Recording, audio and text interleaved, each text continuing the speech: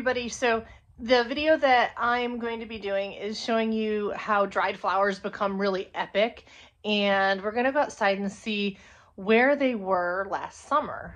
And I asked her to come with me, but for some reason she has absolutely no desire to come with. So I think I'm gonna leave her here and we're gonna go outside and I'm gonna show you where the zinnias actually came from and then you'll see me talking a little bit more about it and the different processes that I used and what they look like when they come out. Everything from flattening them in a herbarium press to drying them upside down or in a vase and letting them dry out that way or using borax, which is a desiccant. And there's many different desiccants out there, including, guess what? Cat litter. Mm-hmm. So of course, clean. Anyway, uh, thanks for chop- dropping by, and let's go outside and see what it's like. By the way, it's 30 degrees outside. There's absolutely nothing growing right now, but it is still pretty cool to look at because we have some giant foxtail growing, and I do a no-till, so stay tuned. Let's get going. So, take a, take a gander here. So, this is a pretty flat field. And right now, I'm gonna turn the camera around. All you can see is a menagerie of like ryegrasses and foxtail. Believe it or not, the foxtail is actually pretty, it's really pretty. If you can see this here, that turned into a wreath. Absolutely gorgeous. Anyway, so I'll show you what this field looked like I'll show you a quick snip of the zinnias that I used in the video. You see me talk later. Um, I filmed part of this at night and this is my daytime to show you what the field is now. We have behind us uh, upwards of almost 20 acres of land. It's really beautiful back there. There'll be other videos where I show you going back there and gathering some really neat things I love the mushrooms that I find and different lichen. It's pretty awesome. But anyway, I want to teach you today about something that people have asked, uh, actually asked me about, which was how do you get dried flowers to look realistic? Uh, many times when I buy flowers, they would be pancaked in like they say pressed and zinnias, for example, are three-dimensional. And you really, if you want to use them in a wreath and keep that natural look, you cannot do that with pressing them between two books. It just doesn't work. If you flatten them in the books and put lots of bricks on top, it will work for a flat piece, like for a picture on a wall. But now when you want to put them into a beautiful wreath or do them on the iron that I show in the video later, it just doesn't look the same. They just look like pancakes. So I'm going to talk about that and you'll see me reveal in the other part of the video that I filmed at night the other night and putting together with this one. But I just wanted to show you uh, where we grow it. And I want to talk about this for just a second, kind of tilt it to the ground. So as you can see, it's not bare soil. We literally don't do that because if you take your soil um, from your garden from the year before and you dig it all up, you're uh, getting rid of all the roots that are anchoring in place all the nutrients in the soil. And when water comes and erosion happens, you're just wasting away all that good stuff that started to grow there. In the spring, you can till this under, uh, flatten it.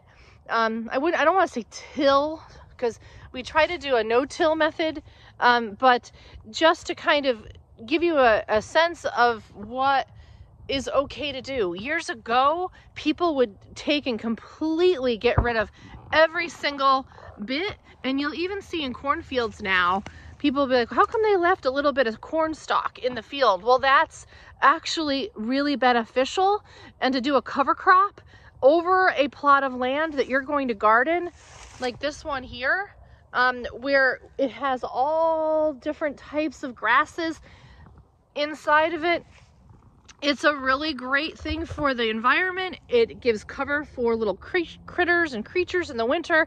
And it also keeps your soil nutrients where you want it, in the ground. So uh, every time I teach or talk about a topic, I like to make sure that I'm talking about things that matter that have to do with gardening in a really sensible way. The Dust Bowl that happened many, many, many years ago happened to happen because people literally they made the land um, a desert right? It became a desert. The soil was no good anymore. So please if you are gardening i recommend letting things grow up plant a cover cover crop and then the next year you'll actually be better off in the long run so anyway let's go back inside i'm going to tape a little bit more of showing you the different ways i've pressed things and a project, actually two projects in the video that, that came out pretty well in 3D. Uh, it's a Cosmos, a Cupcake Cosmos and Zinnia. And you'll see I talk about it later in the video. Um, and one more thing, the cat litter method. You saw my cat on the couch. Literally the cat litter method, it works. But I have tended to find some things, they they dry better in the powdery substance like the borax and than it does in cat litter. Cat litter's thicker and I'd like to see people try different methods. You're really trying to draw all the moisture out of your out of your blossoms. That's literally what you're trying to do. So anyway, let's go back inside. I'm getting cold. It's 30 degrees and I don't have gloves on. See you soon. So she's still in the same spot. Can you say hi, Rose? Yeah. She honestly could care less. She sleeps all day. They say cats sleep, I think it's 18 hours a day.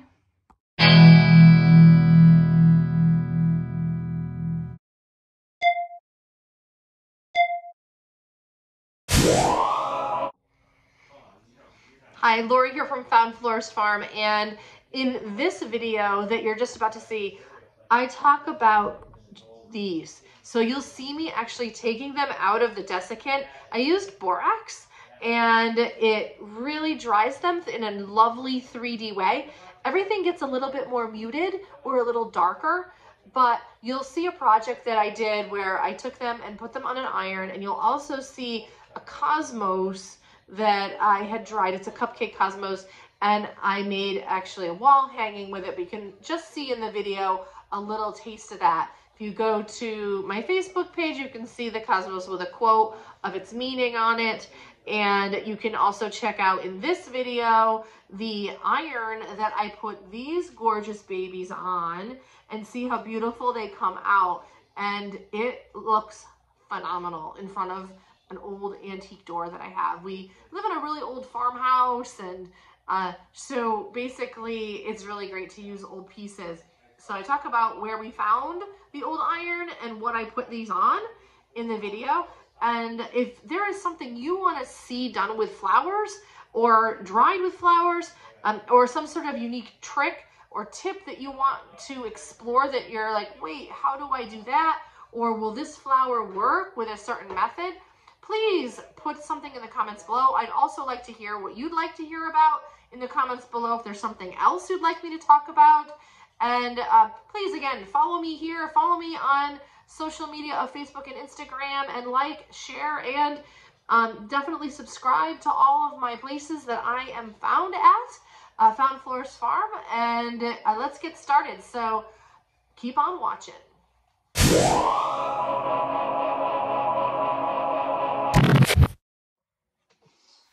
I am going to take these flowers out of the desiccant and we're doing it sort of live here, air quote live. Um, but I wanted to show you some of what I do. So I love the way it works when I dry it like this because the colors are really, really vibrant. And sometimes things come out really great. Uh, the colors sometimes get darker. They sometimes they get a little lighter. Uh, but here's another zinnia. This used to be like a lime green with a pink tint. The pink is still there. Lovely. This is a cupcake cosmo. I'm a little nervous about taking this one out. I'm not sure what's going to happen, but I'm going to try really hard to take it out without hurting it. Isn't that beautiful? Look at that. It does look like a cupcake, doesn't it? We have a little bit of tear right there, but I know I can make something beautiful with that. Maybe a, a wall hanging. This is so beautiful.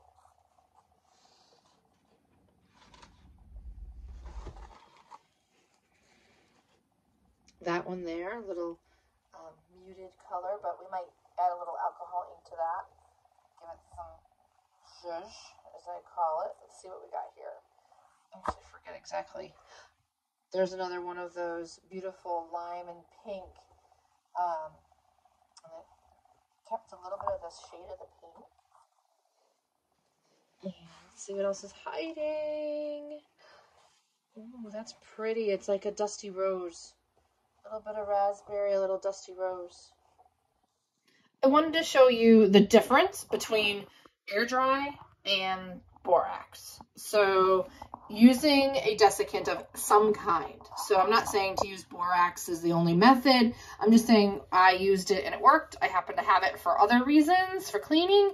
And so this one here, I did not tint this. So just uh, to say again, I didn't tint it. This is the color. I know we have some petals gone, but that's from all of my recording and moving around and sticking it in my hair. Um, this here, these air dried and they dried really slow and they lost all color and they didn't hold their shape. You can't even really tell what they are. They're kind of like an Addams family sort of thing going on. It's, it's, yeah, not so nice. These down here, the color's are great. They were dried in an herbarium press. You can find those on, um, you know, places like Amazon. I have an herbarium press where you press cardboard and you don't even have to have a fancy one. You could make your own with bricks, pieces of cardboard, wood, and just layer them all together. Uh, don't use, unless you don't mind the design, don't use paper towel that has designs on it. Use one that, use plain paper, but it must be absorbent. You don't want your flowers to sit and not be able to get that moisture wicked away from them. A cotton paper would work best. Herbarium paper is really great because of the um, the purpose. It's made for this type of thing. And you will end up with moldy flowers if you use the wrong kind of paper. Trust me, I know. I've done it. And this right here was done in cat litter. My cat, shh, don't tell her. Um, yes, it's very clean, cat litter. I kept it in the shed and it was layered with the black-eyed Susans from the garden and they kept their color. This is not dyed, folks. This was literally put in there back in late summer. So, uh, look at that color. I didn't spray this. I haven't added anything to it. I didn't use any kind of preservative. There's another one of the zinnias that I, pan it's a pancake. It'll be great for St. Patty's time. But see, it's it's like a hockey puck flower. A lot different than the three-dimensional. Look of this. And you're going to see a project that I did with an old iron that we dug up on the property. And it has some of these zinnias on it. It's so beautiful. So I would much rather use this type of style than this any day. So stay tuned for my other part of the video. They're going to be linked together in the same video so you can see me doing a little bit of reveal of the borax. And I talk a little bit more about what's happening. As you can see, this is the final product. They're beautiful. They're three-dimensional. The cosmos you see here, this is done in desiccant as well. It's three-dimensional and gorgeous. And here is the finished product of an iron we found in the ground that we donned with these beautiful three-dimensional zinnias. So please, um, thank you for taking the time out to watch. I hope this inspired you. I ask, leave a comment below, like, share, and subscribe, and ring the bell so you get notification of next time. And again, I really appreciate your time.